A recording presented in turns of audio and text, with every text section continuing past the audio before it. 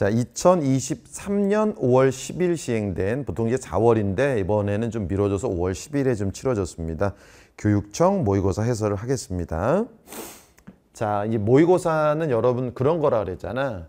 자기의 건강 검진 결과예요. 그러니까 자기가 선생님한테 배운 대로 풀었나 그걸 보셔야 돼. 잘 봤다고 또 해설 skip하지 마시고 여러분들 같이 어, 선생님이 이런 주제는 이렇게 접근하라 했는데 그렇게 했는지 한번 보시기 바랍니다.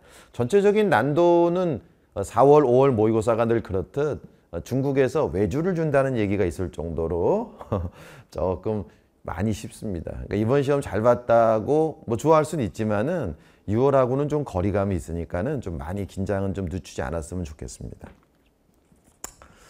자, 1번 문제는 선생님이 이렇게 이제 우리나라의 이제 위치 문제와 관심이 필요한 영토가 나오면 어떻게 하라 그랬냐면은 이런 주제 나오면은 일단 그림을 그리라 그랬잖아요. 선생님 이제 여러분들 그림을 좀 그려라.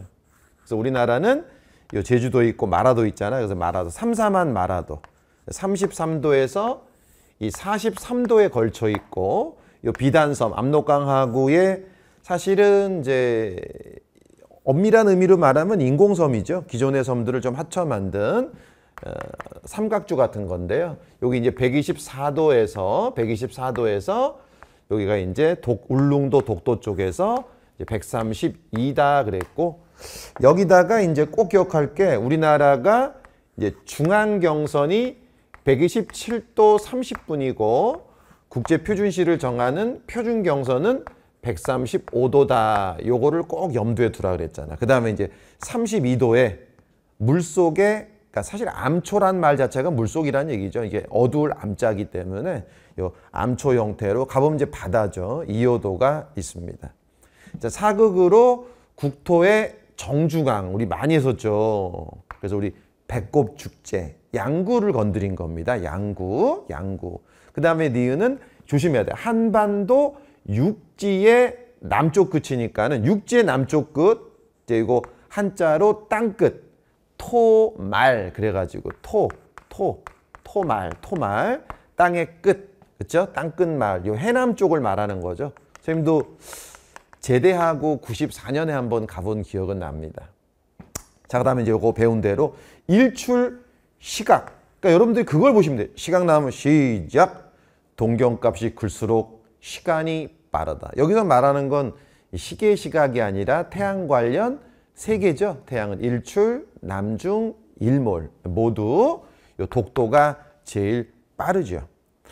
자, 그 다음에 니은은 우리나라, 요, 요 조심해야 돼요. 우리나라 영토란 조심해야죠. 한반도와 부속 도서죠. 남한과 부속 도서 아닙니다. 조심하셔야 되고. 그 다음에 이제 연교차 나오면 항상 뭐야? 연교차 나오면 시작! 선생님, 연교차. 고위도로 갈수록 커져요. 해안에서 내륙 갈수록 커져요. 황해안이 동해안보다 커요. 20, 30, 40, 울릉도 22. 딱 요렇게. 그럼 당연히 이제 아무래도 어 우리나라 요 양구 쪽이 요 해남 쪽보다는 당연히 고위도 내륙이니까 연교차가 클 수밖에 없겠죠. 그 다음에 이제 우리나라 표준 경선 예죠. 예와의 거리는 누가 봐도 양구가 더 가깝습니다. 뭐 이런 것들을 물어본 문제라고 보시면 돼요. 정답은 이제 5번.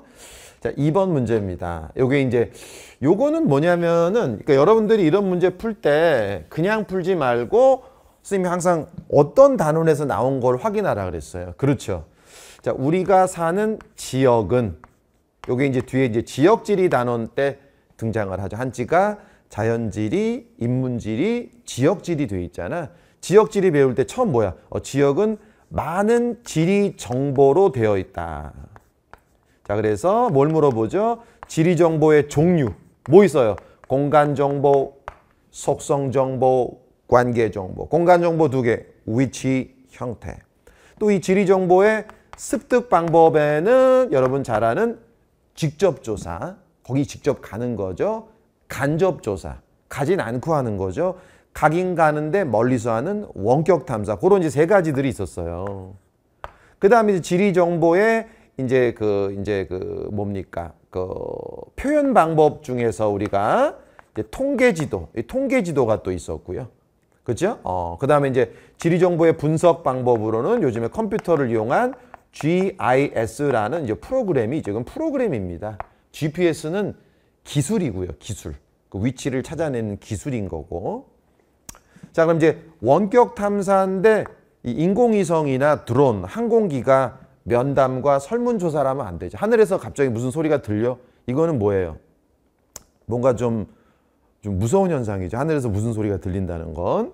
자, 그 다음에 이제 니은. 자, 살림의, 그러니까 지역별 살림 비율은 보통 이 살림 비율 높으면 짙은 색, 옅으면 옅은 색칠하는 단계 구분도. 이 통계지도 다섯 개 중에 단계 구분도를 써야죠. 그렇죠? 어, 이런 것들.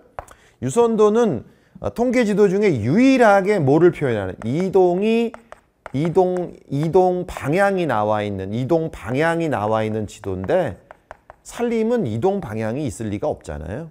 그죠? 그다음에 이제 속성 정보는 선생님이 그랬잖아. 어, 지리 정보 중에서 공간 정보와 관계 정보가 아닌 거라고 생각하면 된다. 오케이? 음. 요 문장이 좀 익숙한 익숙하지 않았던 친구들은 또 모름패스 써먹어도 좋아요. 모르면 또 이렇게 하고 이런 식으로. 이게 기억이 틀렸으니까 니은도 틀렸잖아. 그치? 그 다음에 GIS는 우리가 사실 요즘에 인터넷에서 쓰는 것들이 다 GIS죠. 뭐 부동산 사이트든 어디 들어가면 위치 알려주고 뭐 우리 네이버 부동산만 들어가도 오른쪽에 많은 중첩 분석을 할 수 있도록 뭐 지적도도 뜰 수 있고요. 그렇죠? 그 다음에 이제 도로만 보여주게 할 수도 있고 또 위성 사진으로 보여주기도 하고, 그렇지? 그래서 이제 지리 정보의 수정 및 보완도 쉽죠. 뭐 디지털 맵이니까 수정이 쉽죠. 종이 지도는 수정을 하게 되면 어떻게 됩니까? 찢어지게 돼요. 오케이? 어, 우리 디지털 map은 이렇게 zoom out 하면은 되지만 종이 지도는 zoom out 하면은 어떻게 뜯어져요. 다시 사야 돼. 음. 답은 이제 5번이 되겠죠.